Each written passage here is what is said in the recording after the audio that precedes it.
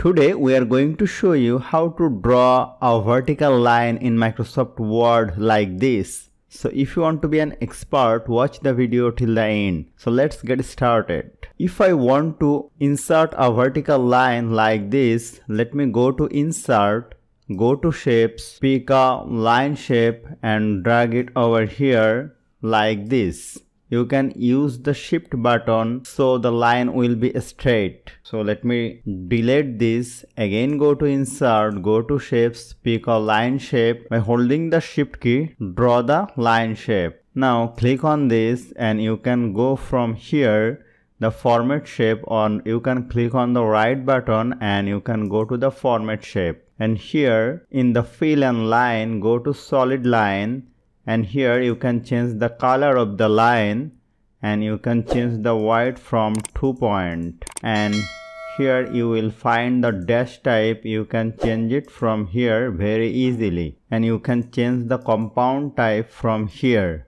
Let me select this one. So one of my vertical lines is ready. Now again go to insert go to shapes pick a line shape and holding the shift key drag it over here and go to shape format go to solid line change the color from here change the point to two point and you can change the dash type to this one and you can change the compound type or not and here you can easily use the arrow from here. So this is my another dash type. You can easily insert this kind of dash type from here. So hope you found this video helpful. If you like this video please share this video with your friends and family and don't forget to subscribe. Thank you